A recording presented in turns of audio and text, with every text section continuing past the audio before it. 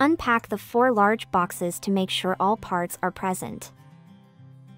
Box 1 contains the assembly manual and the hardware box.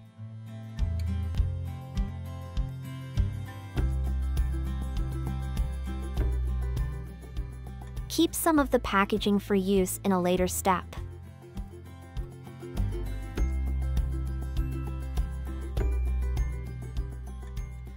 Set panels aside.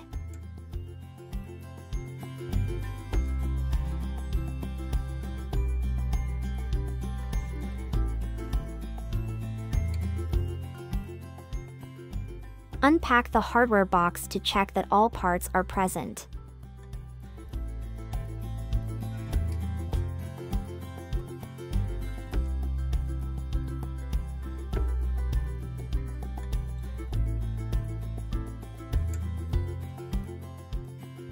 Unpack the lift and lift rails from box 5. Make sure you lubricate the rails. We recommend WD-40. You can label the parts using a sticky note.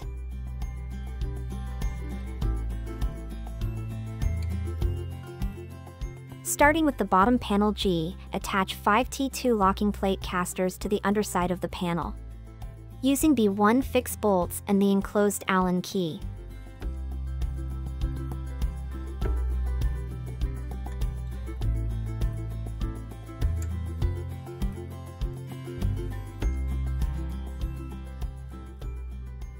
Lock the casters and flip the panel over. Insert two D1 dowel pins into panel O.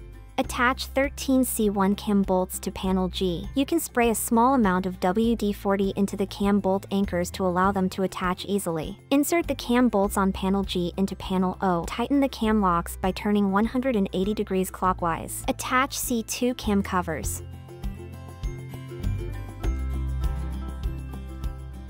Insert 8 D1 dowel pins into the edges of panel D. Use a mallet to tap the pins in as far as they'll go. Attach two C1 cam bolts to panel X. Insert 4 D1 dowel pins into panel X. Attach two C1 cam bolts to panel Z. Insert 4 D1 dowel pins into panel Z. Attach the right lift rail to panel Z using 3S1 screws as shown. Insert the cam bolts on panel Z into the edges of panel D. Insert the cam bolts on panel X into the edges of panel D. Tighten cam locks and apply cam covers. Insert the cam bolts on panel G into the edges of panels X, D, and Z. Tighten cam locks and apply cam covers. Make sure the casters are locked and flip the cabinet shell onto its wheels. Insert 4 D1 dowel pins into the edges of panel Y1. Insert 4 D1 dowel pins into the edges of panel F. Insert 4 D1 dowel pins into the edges of panel Y2. Attach the left lift rail to panel Y2 as shown using 3S1 screws. Insert the dowel pins on panel F into panels Y1 and Y2 as shown. Tighten cam locks and apply cam covers. Insert the cam bolts on panel G into the edges of panels Y1 and Y2. Tighten cam locks and apply cam covers.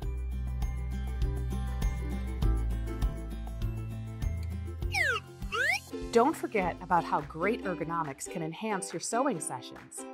The Arrow Hydraulic Sewing Chair is the most comfortable chair, and it allows you to sew for hours without end. It's the number one rated sewing chair in America. Watch this video to get more information.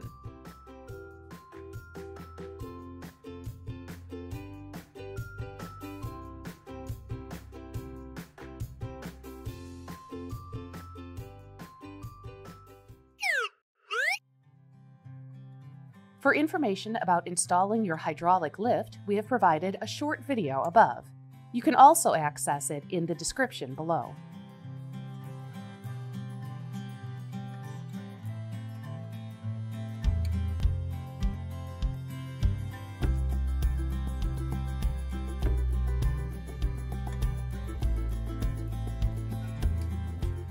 Attach 11 C1 cam bolts to panel A. Attach the lock plate to panel A as shown using two S1 screws. Gently insert the cam bolts on panel A into the edges of panels X, D, Y1, Y2, and Z. Tighten cam locks and apply cam covers.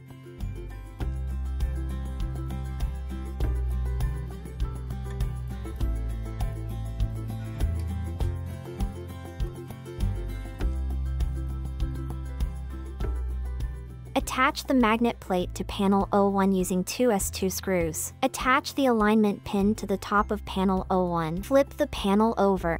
Attach two H1 butt hinges to panel O1 using S1 screws.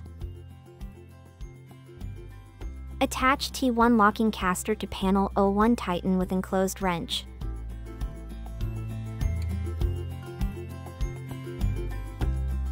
Attach panel O1 to panel D using S1 screws. Use some packaging to help support panel O1.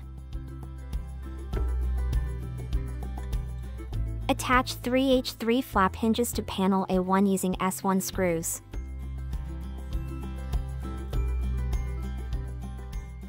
Attach the magnet to panel A1 as shown using S1 screws.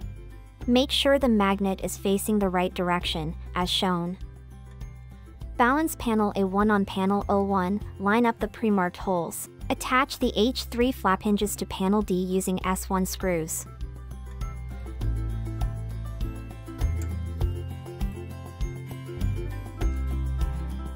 Attach 3 H2 flush hinges to panel V1 using S2 screws.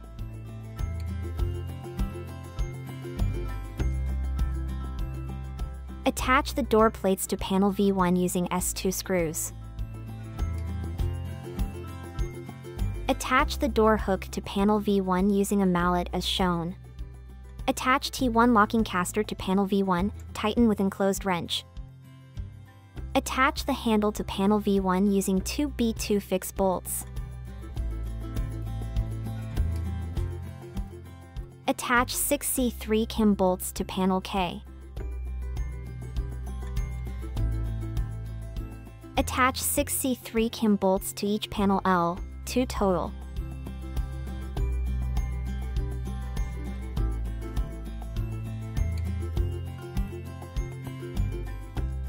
Attach one C3 cam bolt to each panel K1, 2 total. Attach one C3 cam bolt to each panel L1, 4 total. Insert the cam bolts on panel K1 into the edges of panel K2 as shown. Tighten cam locks and apply cam covers. Repeat with the other K1 panel.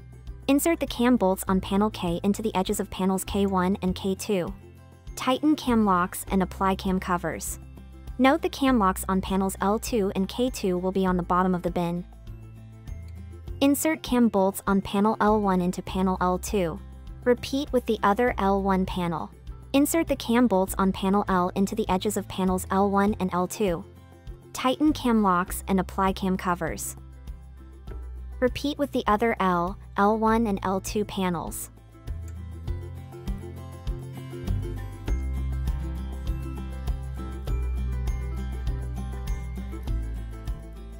Insert T1 locking caster into panel V2, tighten with enclosed wrench. Attach 18C3 cam bolts to panel V2.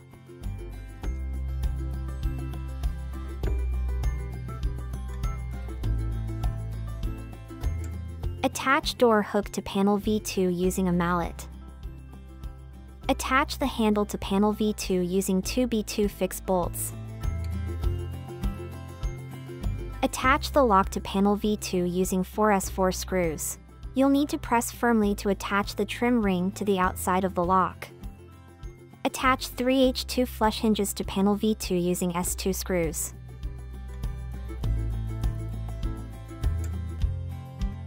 Attach the small, assembled bins to panel V2 as shown by inserting the cam bolts into the edges of panels L1 and L2. Tighten the cam locks and apply cam covers.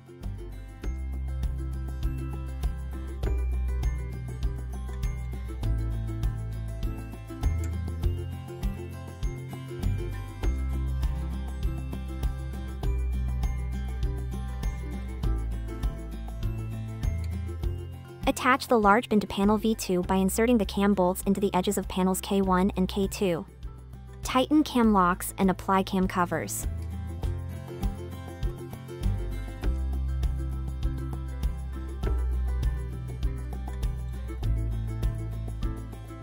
Attach the H2 hinges on panel V1 to panel X using S2 screws. You can use styrofoam from the packaging to help support the door panel as you attach. Attach the H2 hinges on panel V2 to panel Z using S2 screws.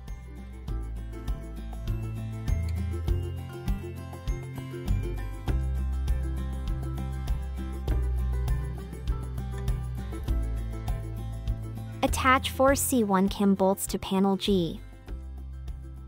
Flip the panel over. Attach four T1 plate casters to panel G using B1 fixed bolts and enclosed Allen key.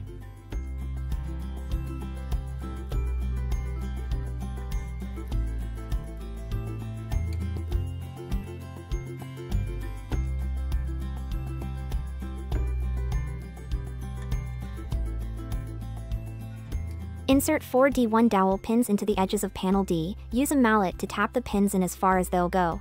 Attach two C1 cam bolts to panel Z. Insert four D1 dowel pins into the edges of panel Z. Attach two C1 cam bolts to panel X. Insert four D1 dowel pins into the edges of panel X. Insert the cam bolts on panel Z and panel X into the edges of panel D as shown. Tighten cam locks and apply cam covers.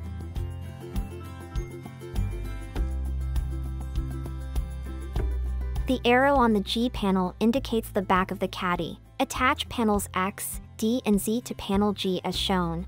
Tighten cam locks and apply cam covers.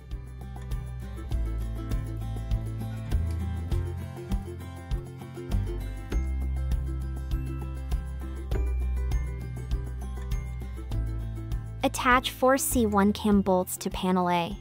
Lower panel A, a 1 onto panels X, D, and Z as shown. Tighten cam locks and apply cam covers.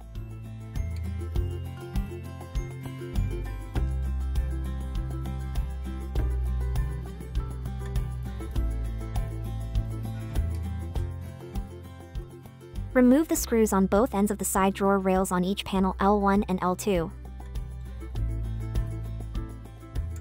Pivot the rails to access the pilot holes for the drawer back. Attach panel L3 to panels L1 and L2 using S3 screws. Slide in the drawer bottom panel L4 into the grooves on panels L1 and L2. Attach four C1 cam bolts to each panel L.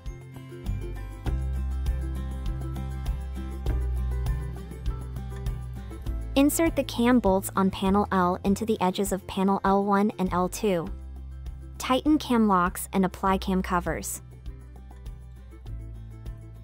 Attach panel L3 to panels L1 and L2 using S3 screws. Slide in the drawer bottom panel L4 into the grooves on panels L1 and L2. Insert the cam bolts on panel L into the edges of panel L1 and L2. Tighten cam locks and apply cam covers. Pivot the drawer rails back into place and replace the end screws on each drawer rail. Fully extend the soft close rails on the cabinet sides. Make sure the silver ball bearing part is positioned all the way to the front. Slide in each drawer and give the drawer a firm push to activate the soft closing mechanism. Open the cabinet doors and extend the top leaves. Attach the clear bumpers to the ends of each leaf panel to protect your cabinet's top. Slide the caddy into the left side of the cabinet using the rollers on the end of the leaf panel. The caddy should always be connected to the main cabinet at all times. The Aussie cabinet has two door hooks to secure the top panels when the cabinet is open. Pivot the door hook to insert the end into the edge of each panel B and C. To close the cabinet, the door hooks should pivot inward as shown. Happy sewing!